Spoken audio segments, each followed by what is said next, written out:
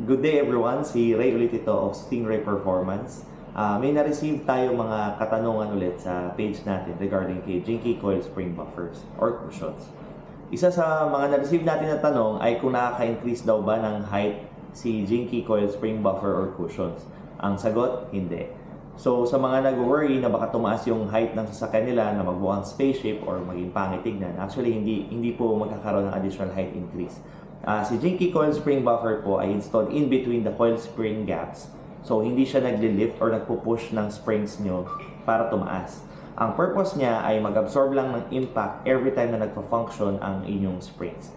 So kapag nagko-compress lang or anytime may compression lang sa kalsada dahil sa even na kalsada or may potholes, doon lang siya nagko-compress. So doon lang nagpo-function itong si Jinky Coil Spring Buffer. So wala siya talagang additional height increase. Isa pang tanong na na-receive natin, ah, pwede daw ba ito sa mga naka-lowering springs? Pwedeng pwede po ito sa mga naka-lowering springs. Ah, marami na po kaming mga referral or returning clients na nagpa-install sa lowering springs nila. Kasi with the help of Jinky Coil Spring Buffers, napiprevent yung fender rub na madalas sa mga sasakyan na naka-lowering springs.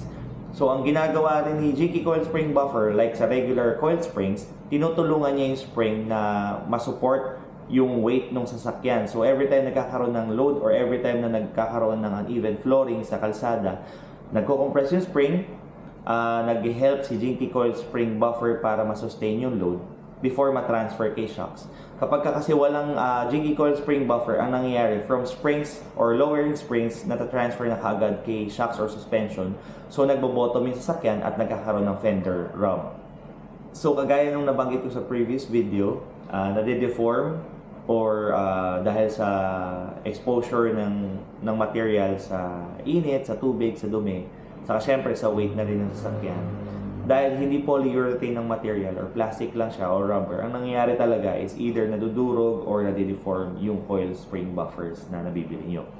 Uh, kagaya nito, 3 months pa lang siya sa customer, wala na kagad yung function niya. At first, mararamdaman nyo, ay parang hindi sumasayan. Siyempre, dahil matigas yung material niya, kagaya nito isa, uh, matigas yung material, halos parang hindi na nagkakaroon ng play yung coil springs nyo. So, ang nagiging function niya ay rubber stopper. Hindi na siya nagiging buffer or cushion. Uh, unlike si original coil spring buffers natin, ito talaga ang purpose is to cushion or to buffer the coil springs sa load ng sasakyan natin sa, sa mga uneven floorings at sa potholes sa kalsada.